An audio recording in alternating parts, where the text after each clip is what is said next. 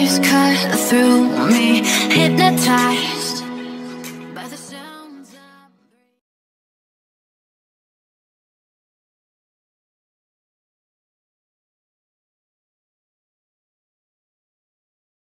Sa lahat ng ah, supporters ng FAI ngayon na nandiyan, na nakikita ko, salute snappy salute to everyone. Ayan. Ah, Thank you. Pinopost ko ito nun sa Pilipinas, mga babayan, na napakatinding proposal at the same time may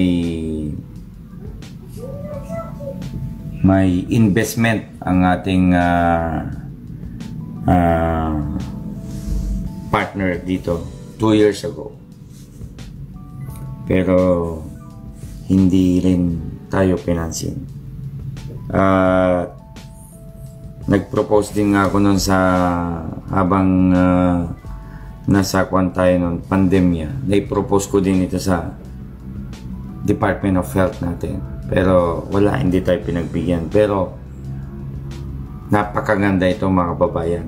Napakaganda. This is about Industry 4.0. No? Pumunta dyan yung kwan siya. Uh, consultant siya international na mga smart city developer. So ito, smart city is uh, talagang napakaganda yan. Papunta na tayo dyan eh. Industry 4.0 eh.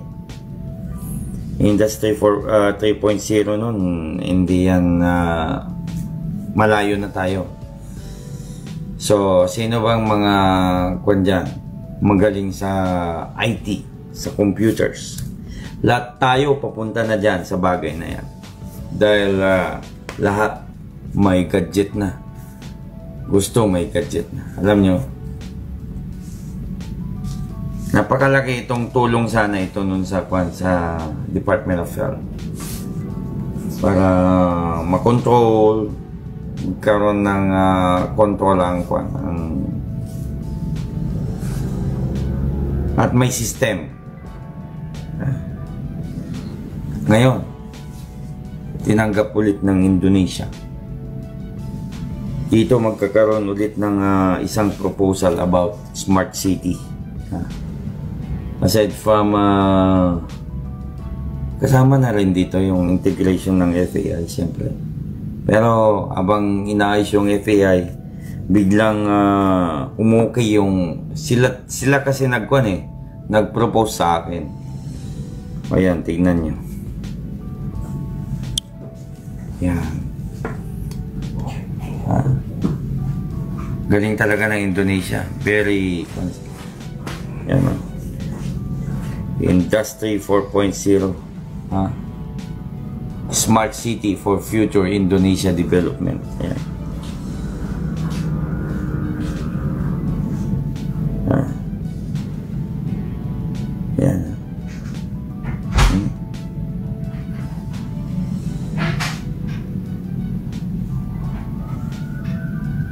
Matindi to mga babayan.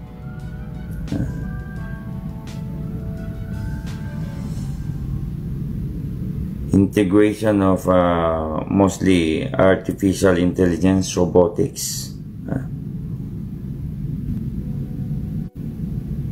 Andyan yung network interconnected among family complexity, internet with high-speed broadband, uh, highly automated, light control, climate control, improve comfort, ensure security. Ha? At yung health nandito. Ha? Number one din sa health. Ha? Yan.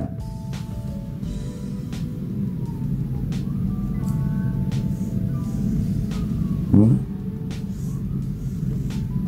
Yan. Yung nung nung first revolution yun, uh, mechanization, uh, steam and water power. Nung second revolution, uh, ito yung mass production in uh, electricity. Nung third revolution, electronic and IT systems automation. Ngayon, fourth revolution na tayo. Ha? Cyber physical systems. So, to be honest, ano, gan ganon tayo ka-advance. No? Na-propose ko ito noon yung sa kwan about sa Philippines. May investment pang dadalhin ng ating mga kaibigan. No? May investment pa. Pero wala eh. Hindi tayo napansin. Pero ngayon, Indonesia, ulit. Ha? Ito, so, yung environment issues. So.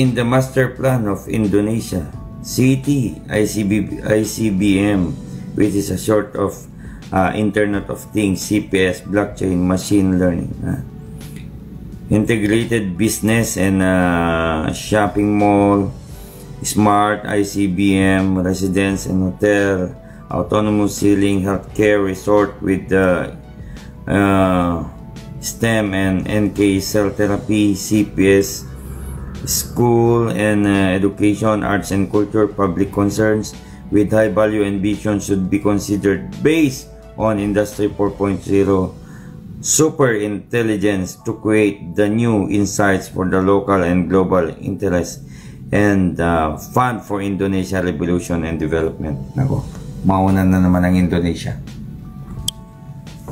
Mga babayan, no? Noon nga, nagkuhan ako dyan eh. Na ako yung uh, isa sa nag-introduce ng LED lightings noon. Laki din ng gastos ko, travel. Iba't ibang probinsya. Kahit Mindanao, naikot ko yan. Ha? Metro Manila. Pinagtawanan pa ako noon. Ano sabi nila sa akin noon mga babayan? Wala yan. Hindi, hindi uubra yan sa Pilipinas yung LED na yan. Ha? Hindi daw ubra. Alam nyo, sabi hindi daw ubra. Ano ngayon? Ha? Lahat na ng gobyerno ngayon. Ha? Gusto nila. Mag-LED na. Ha? Pero mo yan? Noon, ay nako, daming kumutong sa akin. Butas-butas ang bulsa ko noon, kaliwat kanan. Diyos ko. Ito, Industry 4.0, napaka-tindi ito. Ito yung kailangan ng bansa natin. Pero ano ngayon? Ha? Hmm?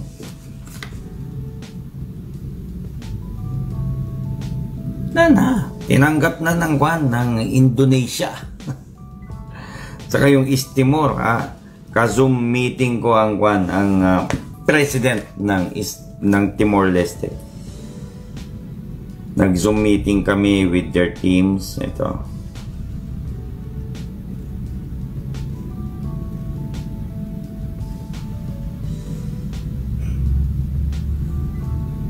Yan.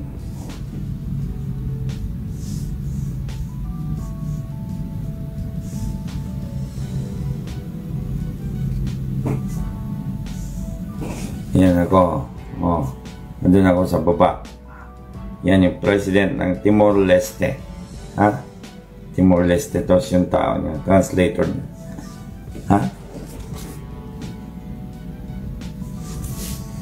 mag-invest yung ating kaibigan ang uh, team ng uh, Industry 4.0 to ng uh, 1 to uh, 5 billion US dollars sana kung tinanggap ng Pilipinas today, papunta rin sa Pilipinas. Ako pa nga na, ito, recorded to. Ako nagdala ng mga maraming investor sa Pilipinas ng mga Chinese. Marami dyan. Ha? Marami. Yun ako.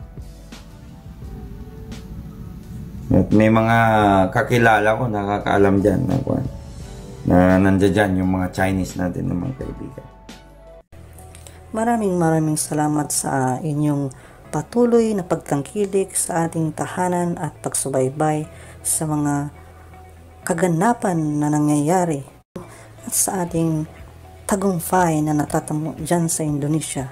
Hopefully, we will see you again in our next update. God bless.